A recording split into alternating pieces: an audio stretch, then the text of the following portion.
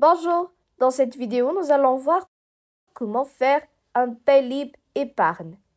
Alors, pour faire un Paylib casse épargne, sélectionnez juste le virement dans votre barre de navigation horizontale et saisissez le montant de votre virement avec 300 euros maximum par jour et sélectionnez le compte à débiter.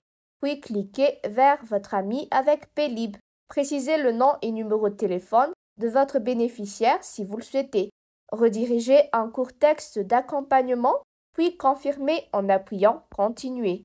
En finalisant cette opération, vous allez saisir les quatre chiffres de votre code SecurePass ou huit chiffres du code confidentiel reçu par SMS. Et n'oubliez pas de contacter votre conseiller clientèle si vous rencontrez certains problèmes. Vous pouvez aussi passer directement au niveau de votre agence pour plus d'assistance.